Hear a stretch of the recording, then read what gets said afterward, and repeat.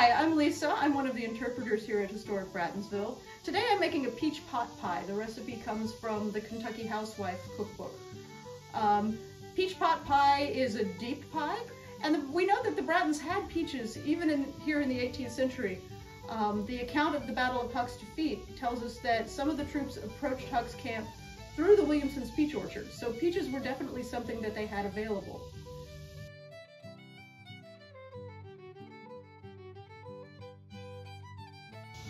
So you might be wondering why there's no bottom crust on that pie.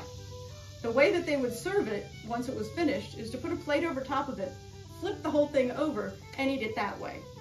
Um, Mrs. Uh, Bryan in Kentucky Housewife actually says that it's not attractive enough to serve for company, but it's fine for family. Um, I guess that means it's going to be messy, but it does taste good. So we've got our pie pan with the with the crust around the edges, but not on the bottom. And we're ready to add our peaches, which are peeled and chopped up and falling out all over the place. We'll catch those and throw them back in here so we don't miss out.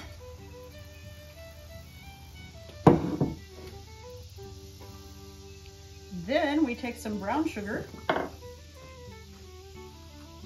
and uh, the recipe actually says a couple good handfuls of brown sugar. And it will melt down in there as it's cooking. A little bit more. And then we're ready to put the crust on the top. So we need to roll that out.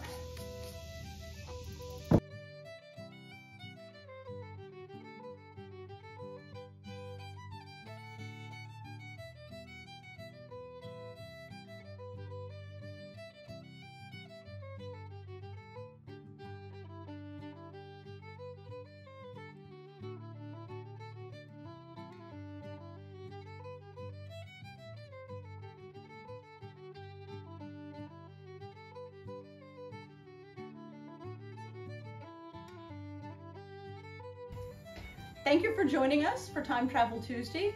Come out and visit us at Brattonsville sometime and see what we're working on.